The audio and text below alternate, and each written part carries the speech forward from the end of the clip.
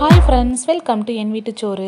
நம்ம இன்றைக்கி சூப்பரான கார சட்னி எப்படி செய்கிறதுன்னு சொல்லிட்டு பார்க்க போகிறோம் அதுக்கு முன்னாடி இந்த சேனல் நீங்கள் இப்போ தான் ஃபஸ்ட் டைம் பார்க்குறீங்கன்னா மறக்காமல் என் வீட்டு சோறு சேனலை சப்ஸ்கிரைப் பண்ணிவிட்டு பக்கத்தில் இருக்கிற பெல் பட்டனை கிளிக் பண்ணுங்கள் அப்போ தான் என்னோட வீடியோஸ் எல்லாம் நீங்கள் மிஸ் பண்ணாமல் பார்க்கலாம் ஃப்ரெண்ட்ஸ் வாங்க இப்போ வீடியோக்குள்ளே போயிடலாம்.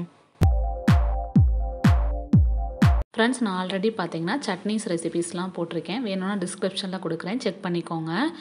வாங்க இப்போ எப்படி செய்கிறதுன்னு பார்க்கலாம். அதுக்கு பார்த்தீங்கன்னா சின்ன வெங்காயம் நாலு தக்காளி மூணுலேருந்து நாலு மிளகா வத்தல். அவ்வளோதான் ஃப்ரெண்ட்ஸ் இதை வச்சு தான் நம்ம இன்றைக்கி கார சட்னி செய்ய போகிறோம் இதை பார்த்தீங்கன்னா டேரெக்டாக மிக்ஸி ஜாரில் போட்டுட்டு அரைச்சி எடுத்துகிட்டு வந்துடலாம். இதே கார சட்னி பார்த்தீங்கன்னா வதக்கி எடுத்து செஞ்ச கார சட்னியும் நான் போஸ்ட் பண்ணியிருக்கேன். செக் பண்ணிக்கோங்க. இப்போ நம்ம ஃபஸ்ட்டு சின்ன வெங்காயம் வந்து சேர்த்துக்கலாம். சின்ன வெங்காயம் பார்த்தீங்கன்னா இருபதுலேருந்து இருபத்தஞ்சி சின்ன வெங்காயம் சேர்த்துக்கலாம். நெக்ஸ்ட்டு பார்த்தீங்கன்னா மிளகா வத்தல் காரத்துக்கு ஏற்றாப்புல அஞ்சு மிளகா வத்தல் வந்து சேர்த்துக்கலாம். நெக்ஸ்ட்டு பார்த்தீங்கன்னா சால்ட்டு அதுக்கப்புறமா தக்காளி நாலு தக்காளி வந்து சேர்த்துக்கலாம்.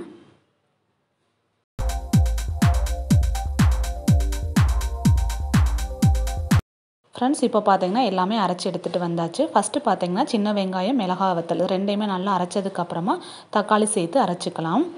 இந்த கார சட்னி பார்த்தீங்கன்னா தாராளமாக ரெண்டுலேருந்து மூணு பேருக்கு வந்து கரெக்டாக இருக்கும். இந்த அளவு. நாலு பேருக்கு மேலே வேணும்னு நினச்சிங்கன்னா இன்னும் கொஞ்சம் வெங்காயம் மிளகா வத்தல் அதே மாதிரி தக்காளி எல்லாமே சேர்த்து சேர்த்துக்கோங்க.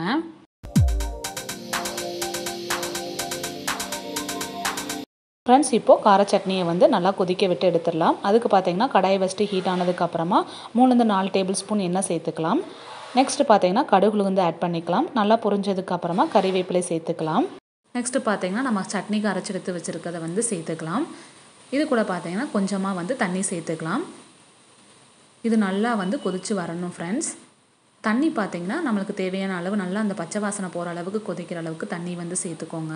ஒன்றுலேருந்து ரெண்டு டம்ளர் வந்து சேர்த்துக்கலாம்.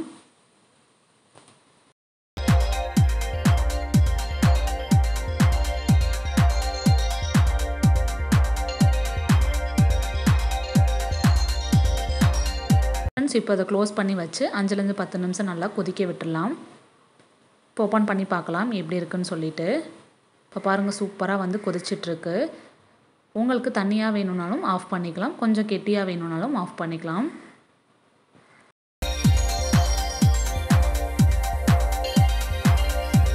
ஃப்ரெண்ட்ஸ் பாருங்கள் நல்லா வந்து சட்னி வந்து காஞ்சிடுச்சு. இன்னமும் கொஞ்சம் கெட்டியானதுக்கப்புறமா ஆஃப் பண்ணிடலாம். இப்போ பார்த்தீங்கன்னா சட்னியை வந்து இந்த அடுப்பில் வந்து மாற்றி எடுத்து வச்சாச்சு. ஏன்னா இப்போ வந்து நான் தோசை சுட போகிறேன் தோசைக்கு தான் பார்த்தீங்கன்னா இந்த கார சட்னி வந்து செஞ்சுருக்கேன். கண்டிப்பாக வந்து சூப்பராக இருக்கும் ஃப்ரெண்ட்ஸ். ட்ரை பண்ணி பாருங்கள் இப்போ வந்து நம்ம தோசை சுடலாம் வாங்க. ஃப்ரெண்ட்ஸ் தோசை சுடுறதுக்கு கல் வச்சு கல் நல்லா ஹீட் ஆனதுக்கப்புறமா மாவு சேர்த்து இப்போ தோசை ரெடி ஆகிட்டுருக்கு தோசைக்கும் சரி பாருங்கள் இந்த மாதிரி கல் சட்டி வச்சுருந்தா சூப்பராக இருக்குது தோசையும் சூப்பராக வருது. இது பார்த்திங்கன்னா என்னோடய மாமியார் தான் வந்து யூஸ் பண்ணிகிட்ருக்காங்க நானும் இது மாதிரி வாங்கணும்னு சொல்லிட்டு நினச்சிட்டு தான் இருக்கேன். இந்த கல் செட்டில் தோசை ஊற்றினோன்னா செமையாக இருக்குது தோசையும் டேஸ்ட்டாகவும் இருக்குது சூப்பராகவும் இருக்குது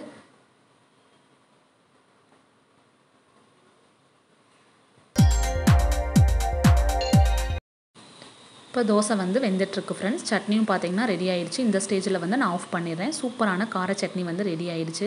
கண்டிப்பாக நீங்கள் ட்ரை பண்ணி பார்த்துட்டு எப்படி இருக்குன்னு கீழே கமெண்ட் பண்ணுங்கள் இந்த வீடியோ உங்களுக்கு பிடிச்சிருந்துச்சுன்னா மறக்காமல் லைக் பண்ணுங்கள் ஃப்ரெண்ட்ஸ் ஷேர் பண்ணுங்கள் இப்போ பாருங்கள் தோசை ரெடி ஆயிடுச்சு. நானும் கார சட்னி ஊற்றி சாப்பிட போகிறேன் வாங்க சாப்பிட்லாம் ஃப்ரெண்ட்ஸ் தேங்க்யூ ஃபார் வாட்சிங் பாய்